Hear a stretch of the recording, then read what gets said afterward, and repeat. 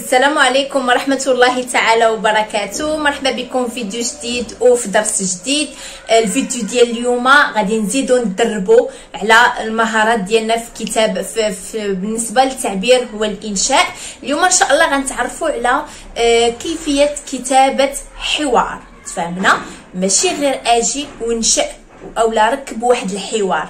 آه، الحوار باش يكون سليم وصحيح وكيتوفر فيه جميع العناصر الضرورية اللي كتكون في الحوار خاصو يكون آه، مكتوب بطريقة آه، بطريقة محددة محترمة للتعاليم ديال الحوار.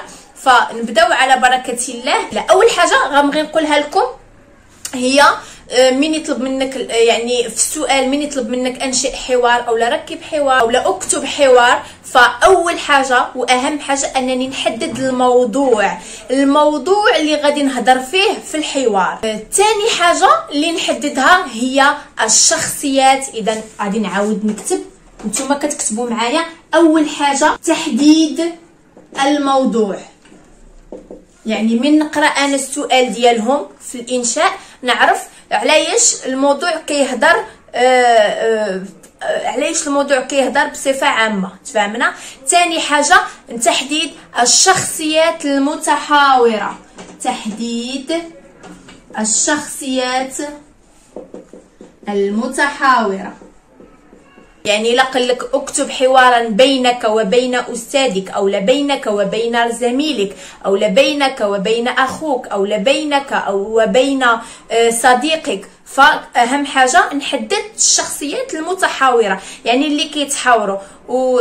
يا كيكونوا جوج أو لا كيكونوا ثلاثة وما كيكونوا حتى الأربعة. ولكن حاول ما أمكن تختار إلا إلا عطاك حرية الاختيار اختار بينك وبين صاحبك. صافي غير جويجات باش ما تطولوش بزاف. ما يجيش الحوار طويل. حاجة ثالث حاجة احترام الأسلوب الحواري.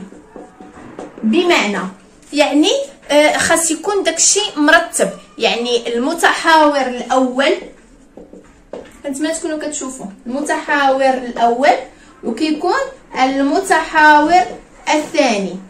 يعني يكون داكشي منظم. يعني المتحاور الأول مثلا ملي نكتب لهم أنا ونقول نقول الحوار ديالي من موراها مباشرة خصو يكون كيهضر هو. ماشي نبقى نكتب لهم أنا أنا أنا عاد صديقي. لا. أنا صديقي أنا صديقي أنا صديقي. كنتمنى تكونوا فهمتوني. فأول حاجة باش نبداو الحوار ديالنا نبداوه كنبداوه طبعا بواحد الجملة. الجملة آه، افتتاحية. يعني نبدأ الحوار بجملة افتتاحية. دابا نعطيها لكم في النموذج اللي غادي نخدمو من بعد. ثاني حاجة ثاني حاجة ملي كنبدأ الحوار ديال أنا صديقي أنا صديقي كنبدأ بعارضة. كنكتب أنا وكندير آه، جو آه، نقطتين تفسيريتان. تفهمنا؟ هذه سميتها النقط التفسيرية. ضروري. عاوتاني مين يجي مثلا صديقي اللي غادي يهضر؟ كنعمل عارضة. كنكتب مثلا صديقي. وكندير كذلك نقطتان تفسيريتان. وكنبقى غادي بحال هكا. بالنسبة للحوار الأول والثاني ضروري كتكون إلقاء التحية. يعني ما كنجيش وندخل صلب الموضوع مباشرة. فالمتحاور الأول يلقي التحية والمتحاور الثاني يرد التحية. إذا رد التحية. تفهمنا بالنسبة للتحية كتكون فيها جوج أسطر. لا غير. ما نزيدش عاوتاني آه الحوار الثالث ونكتب كيف حالك. عاوتاني صديقي يقول لي آه بخير وأنت. عاود نرد عليه أنا الحمد لله. ما نطولش بزاف. التحية كتكون في جوج ديال السطورة. أنا إلقاء تحية صديقي يرد على التحية. فقط لا غير. وكندخل صلب الموضوع. زيد نأكد على واحد القضية اللي هو الحوار خاصو يكون مختصر. الحوار مختصر. نتوما عارفين عطاكم الإنشاء ما بين 8 حتى ل 10 ديال السطورة. السطر الأول كنبدأ فيه ديك الجملة آه الجملة آه الافتتاحية. السطر الثاني والثالث كتكون فيه الحوار ديال آه التحية إلقاء التحية. هما يعني مسبقا يعني راه مشاو لك مسبقا ثلاثة ديال السطورة. لاحظوا معايا آه آه الحوار الثالث. يعني أنا اللي غادي نهضر. دائما كنبداو كندخلو صلب الموضوع باش كندخلو بسؤال طرح سؤال. تفهمنا؟ صديقي الإجابة على السؤال. اذا في السطر دابا عندي السطر الأول الثاني الثالث. ما بين الرابع والخامس يعني وسط يعني في هاد جوج ديال الأسطر خاص يكون الموضوع. أو التطرق إلى الموضوع. تفهمنا؟ إذا التحيه من مور التحيه كندخل مباشرة صلب الموضوع. كيفاش كندير ندخل لصلب الموضوع؟ كنطرح سؤال والصديق ديالي كيجاوب على السؤال. حاجة أخرى خاصكم تعرفوها أنه ممكن استعمال عدة أساليب. ملاحظة. ممكن استعمال عدة أساليب. مثلا أسلوب التعجب. أو لا. اسلوب الطلب. لا اسلوب الاستفهام. يعني بالنسبة لطرح السؤال كيمكن لي نستعمل أسلوب آه، الاستفهام. كيف ما يمكن لي نستعمل أسلوب التعجب باش هكا نبدأ الحوار ديالي أو ندخل في صلب الموضوع أو لا يمكن لي نطلب واحد الطلب. بالنسبة حاجة أخرى آه، آه، صراحة كنتمنى ديروها وما تنساوهاش إلا تحط لكم الحوار. طبعا غتزاد لكم انقطاط وغيعرفكم الأستاذ الأستاذ المصحح أنكم فاهمين وذكيين الذكاء الذكاء. شنو هي؟ آه، بالنسبة للشخصيات شنو نقدر نقول عليها؟ وصف حالة الشخصيات. بالنسبة voilà donc معلومة خصكم تعرفوها. وصف الحالة النفسية للشخصيات. أنفهمكم هاد الملاحظة. mais كنجي ندير الحوار ديالي؟ دابا مثلا mais كنجي لهنا أنا قبل ما نبدا طبعا جوج نقيطات كندير بين أق... بين قوسين أنا. وكنكتب الحالة النفسية ديالي. أنا باش نطرح لي هذا السؤال كيفاش كانت حالتي؟ كنقدر نقول ضاحكا مازحا اولا مثلا آه، مستغربا. أولا مثلا غاضبا تفهمنا؟ ما نساوش هاد المسألة ديال آه نوصف الحالة النفسية ديال الشخصيات. يعني الأشخاص ملي كانوا كيهضروا كيفاش كانت النفسية ديالهم؟ فلاحظوا معايا هادو هما آه هادو هما العناصر المهمين باش تنشأ اولا تكتب واحد الحوار سليم البنية ويكون كيتوفر على جميع العناصر. أعيد معكم مرة أخرى. نبدأ الحوار بجملة افتتاحية. السطر الثاني والثالث كيكون فيه التحية. أنا ألقي التحية والمتحاور الثاني يرد التحية. من موراها أدخل مباشرة صلب الموضوع. ب يا إما طرح سؤال أو لا آه، تعجب أو لا طرح أو لا طلب طلب. يعني نطلب شي حاجة. الصديق ديالي أو الزميل ديالي أو لا أي واحد فهو الدور ديالو الإجابة على السؤال. ندوزو لواحد النموذج اللي أنا صوبت لكم. آه طبعا غادي نتسنى آه الردود الأفعال ديالكم. يعني كيفاش جاكم الحوار اللي صوبت أنا؟ واش عجبكم؟ يلا نعملوا محاولة باش هكا تعرفوا كيفاش أي موضوع في أي موضوع كيفاش تصوبوا له الحوار ديالو. معايا غادي تعرفوا معايا على كيفية كتابة آه، حوار أو كيفاش تتعامل. أولا أولا كيفاش تتعامل مع الموضوع. أول حاجة طبعا نقرأ الموضوع. إذا النموذج كيقول أكتب حوارا. إذا هنا حدد لي شنو غندير. واش حوار واش رسالة شخصية رسالة إدارية واش قصة واقعية قصة آه، متخيلة واش طلب واش واش آه، مقال. إذا هنا أكتب حوار. جرى إذا هنا بين جرى بين إذا هنا غيحدد لي الشخصيات. بين من؟ بينك وبين صديقك. إذا الحوار غادي يكون ما بين أنا صديقي أنا صديقي أنا صديقي. فهمنا؟ حول حول من موراها مباشرة غادي يجينا الموضوع. على إيش غادي نهضروا أنا وصاحبي؟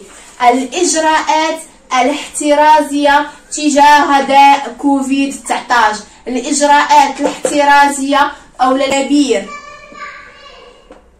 التدابير الوقائية. أحسن أحسن التدابير الوقائيه أحسن من الإجراءات الاحترازية. تجاه داء كوفيد 19 اذا نفهم أنا الموضوع أنا وصاحبي علاش غنهضروا؟ غنهضروا على الإجراءات شنو خصنا نديروا اولا التدابير الوقائية باش نوقيو راسنا من داء كوفيد 19 نتوما كامل كلشي كيكون كيعرف؟ غيكون كيعرف أن داء كوفيد 19 هو كورونا. تفهمنا اذا في حدود 10 أسطر طبعا كيحدد لك من 8 حتى 10 ديال الأسطر. نبداو على بركة الله الحوار ديالنا. اول حاجة كنديروها ما ننساش هي الجملة الافتتاحية. مثلا كنبدأ التقيت بصديقي في ساحة المدرسة فجرى بيننا الحوار التالي حول آه، التدابير الوقائية آه، ضد أو تجاه تجاه داء كوفيد 19 تفهمنا؟ إذا نردوا معايا البال. آه، الجملة الافتتاحية ما ننساش. أين متى وماذا ولماذا تفهمنا؟ أربعة ديال الأسئلة خصنا نجاوبوهم في هذه في هذه الجملة الإفتتاحية. إذا أين؟ في ساحة المدرسة. بمن؟ يعني من؟ التقيت أنا بصديقي. voilà. donc شنو وقع؟ جرى بيننا حوار حول ماذا حول التدابير الوقائية. إذا نبدأ الحوار. لاحظوا معايا. عارضة ونبدأ أنا. قلنا في السطر شنو كيكون؟ التحية. مثلا السلام عليكم. أو لا. مثلا مرحبا بك يا صديقي. صديقي غير عليا جوج نقيطات ديال الاستفسار. مثلا غي آه مرح مثلا غي غيجاوبني. وعليكم السلام. صديقي. اولا مثلا أهلا وسهلا. أهلا صديقي. فهمنا؟ اللي بغيت نكتب نكتب. من موراها غادي ندخل صوب الموضوع. بلا ما نطولوش الحوار بزاف. غادي مثلا نسولو دابا حنا علاش نهضروا على التدابير. مثلا غادي نكتب ليه ما التد... مثلا أنا آه التدابير. أو لا ما هي؟ عفوا. ما هي؟ التدابير الوقائية التي حدثكم عنها أستاذكم في القسم. ما ننساش كيف ما قلت لكم دائما أدوات الترقيم. تفهمنا؟ اذا ما هي التدابير الوقائية التي حدثكم عنها أستاذكم في القسم؟ دابا صديقي غيرد عليا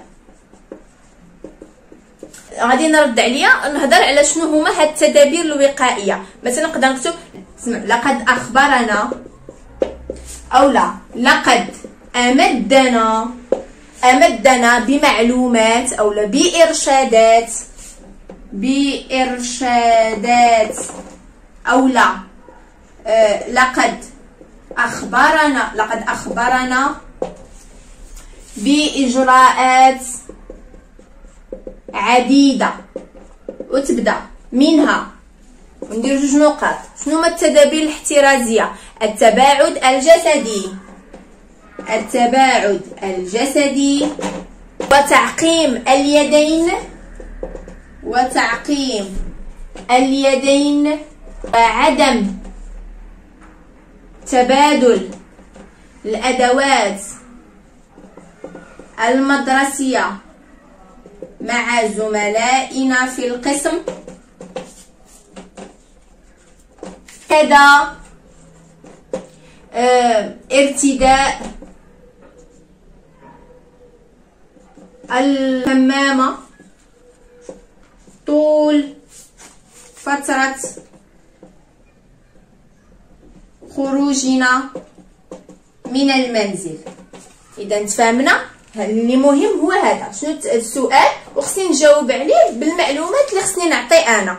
نسيت ما قلت في العناصر الأولانيين أن الحوار ما كيساليش هنا.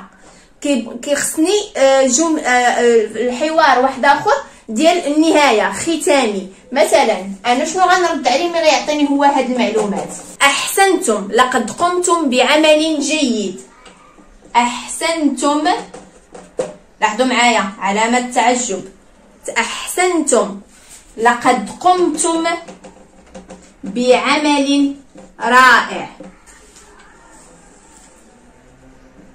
صديقي. نعم يا صديقي. ف باحترامنا للتدابير الوقائية نحمي أنفسنا و ونحمي الغير أيضا. إذا تفهمنا؟ هكا كنكتب الحوار. يكون شامل واسع يكون فيه يحتوي على جميع العناصر الضرورية لإنشاء حوار. ونعطي المعلومات الكافية ما يكونش ناقص. كنتمنى من قلبي تكونوا فهمتوا. كيفاش كيفية إنشاء حوار؟